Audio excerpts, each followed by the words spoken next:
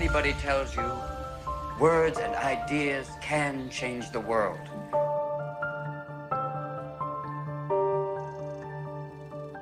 We don't read and write poetry because it's cute.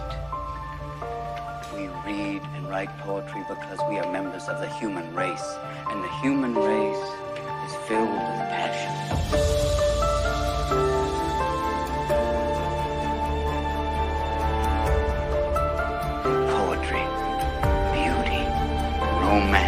love.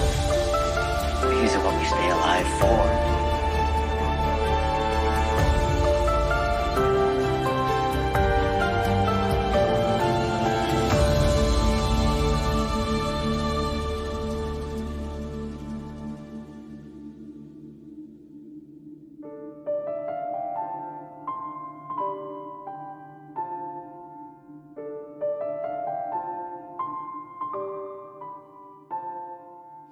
The powerful play goes on and you may contribute a verse.